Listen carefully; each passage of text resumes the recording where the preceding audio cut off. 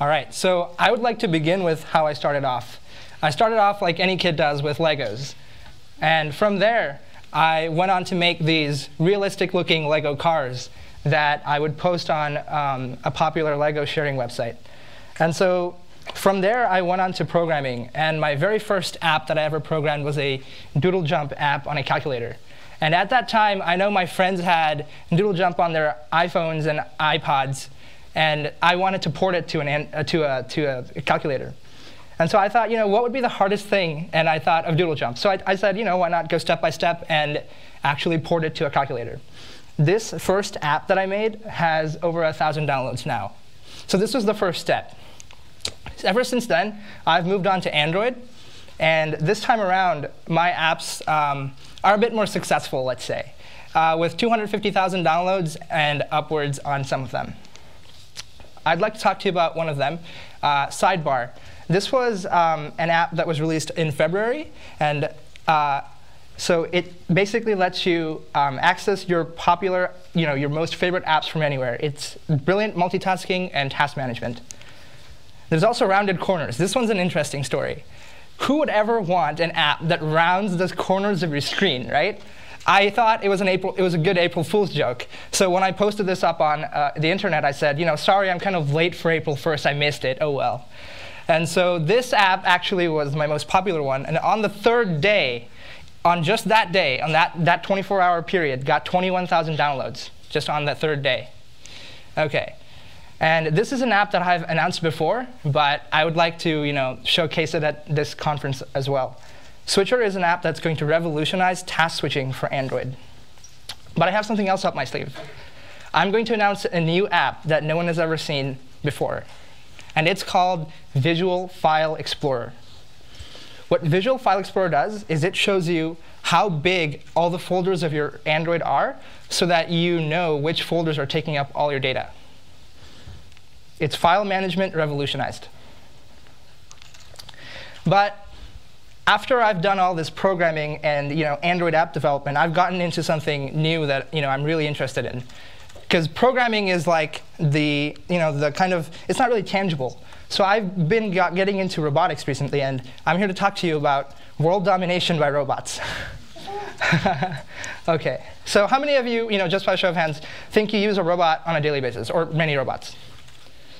Yeah, OK. So this is what most people think of robots, because that's how the movies portray them.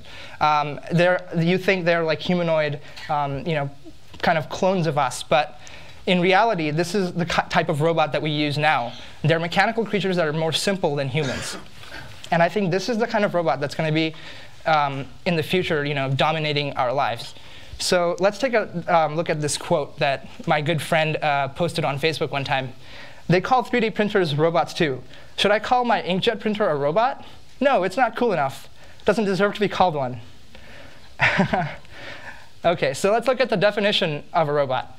This is the actual definition. A machine capable of carrying out a complex series of instructions automatically. So could these be robots too? Could your, your toaster at home be a robot? I mean, it too carries out a complex series of actions, right? Um, you, you put your toast in, it, you know, it's after a certain amount of time, it pops them up. What about your TV, your, your oven, your dishwasher? In a sense, they're all robots, but much like living organisms, they vary in complexity. So our lives today are dominated by, you know, technology that we use every day, like our cell phones, our Facebook, our Twitter, our Google+. Um, in, in the future, we will be even more reliant on machines that make our lives easier, allowing us to live more freely than ever. In an age where hardware and software um, are at the forefront of human innovation, groundbreaking discoveries that change the way we live are created every day by ordinary people like you and me. And what better way to integrate hardware and software than with robotics? So this summer, I've been working on a robot that's actually over here. Um, this robot can be controlled from anywhere.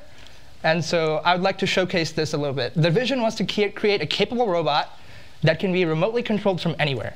And this is what it is. It's a successful prototype. Making it a reality was quite a process. So you know, it, the, the, robot has um, a, a, router for connecting to the LTE network. Um, it also has a computer on board that runs Linux.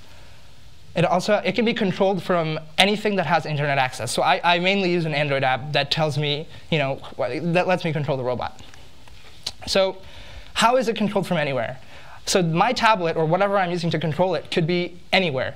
Um, so that router in the middle would be my home router, and that tower would be a cell phone tower. So this robot talks to the cell phone towers, and you know, you know, nowadays everywhere there's cell phone towers, right? So this can pretty much be anywhere where there's a cell phone tower, and I can talk to it, and I can control it. It has a phone on board.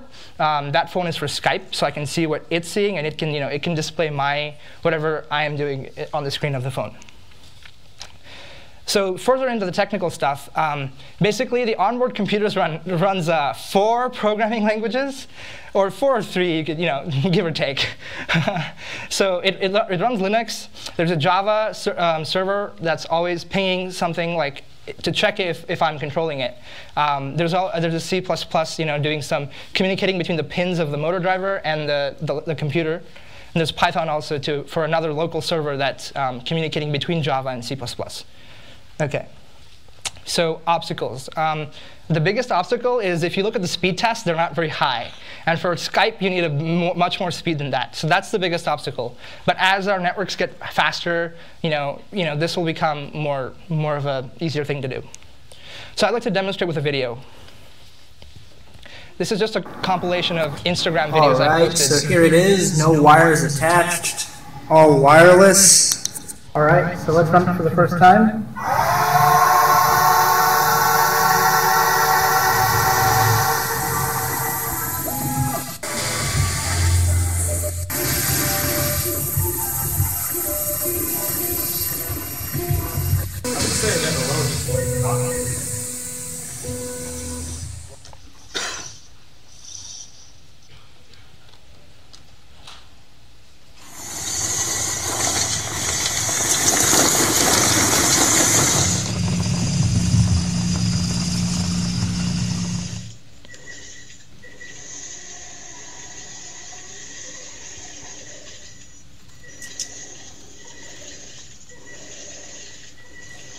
So as you can see here, it's basically being controlled by me from my room.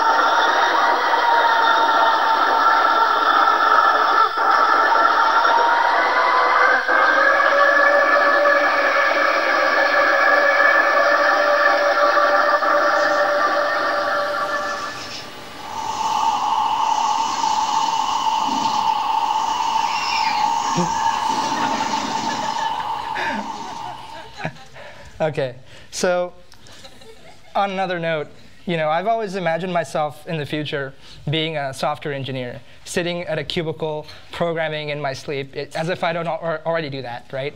Um, but I've also imagined, you know, what if I was a mechanic? What if I built stuff, like fix cars and stuff? But that's not okay with my mom. she always said, you have to grow up to be an engineer. No other option. But mechanics are engineers too. And then she would give me that look, like, no, that denial. So that's when I decided I'd rather be a roboticist and get to have the best of both worlds. It's a win-win situation. Last year, I was lucky enough to actually get a job as a roboticist, and that's where I've been working ever since. Um, and you know, through my experiences at work, I've learned a great deal about the, the practical appliances of robotics. So if you look at a simple creature like, say, a caterpillar, right?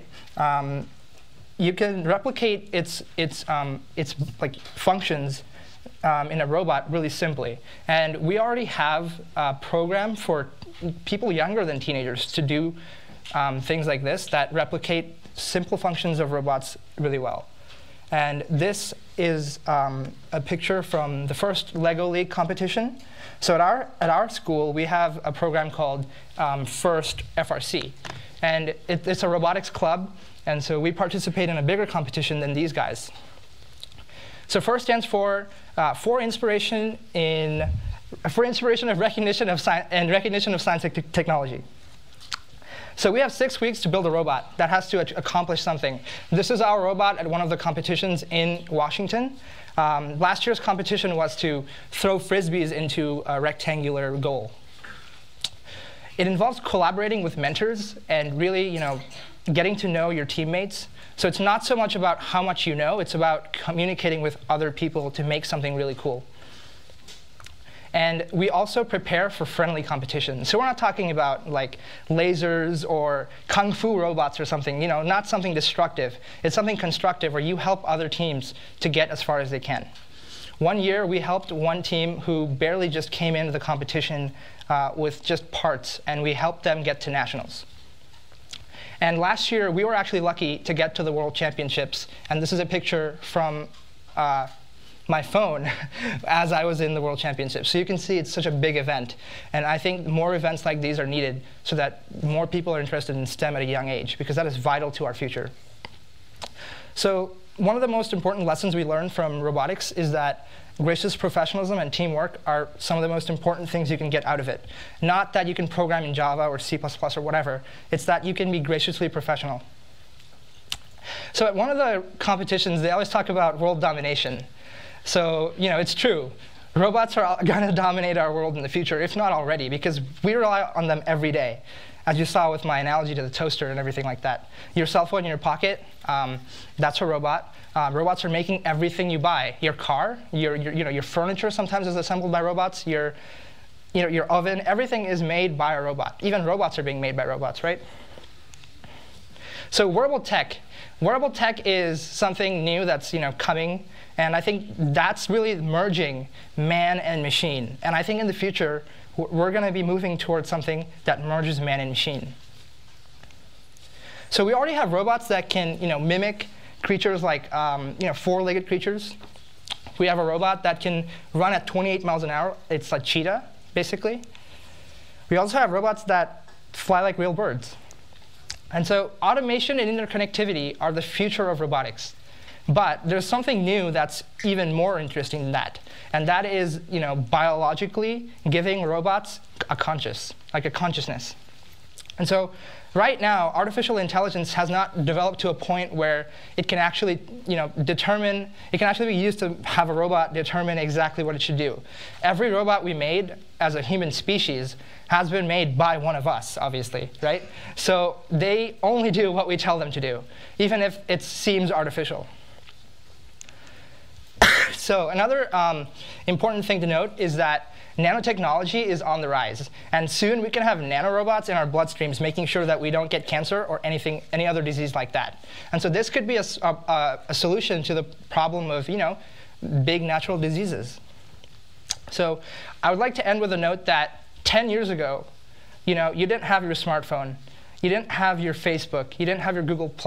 Not, no, neither did you have your Instagram or Miley Cyrus. But um, if you think about it, 10 years is not a long time for the older generation here. But just that amount of time has changed the world so much. So we can't really comprehend what's going to happen 10 years later. But one thing is for sure, that the world is going to be dominated by robots. Thank you.